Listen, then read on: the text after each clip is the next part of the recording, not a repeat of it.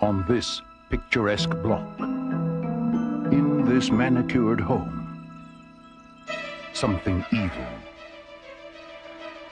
something terrifying, something horrifying is haunting Lionel. His mother, I thought I told you to spray this house. The place is infested with vermin. although she was a little strict, Look at this dust. It's an inch thick.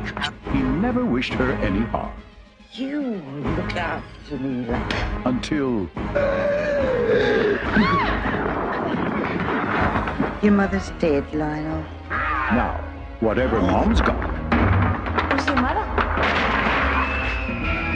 has caught on with the neighbors. She's been bitten! You know what that means? You can pray. I kick ass for the law!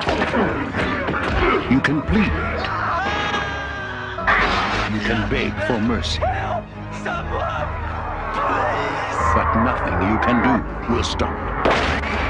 There's thousands of them! Because how do you kill something that's already dead? Trimark Pictures presents a modern masterpiece of horror,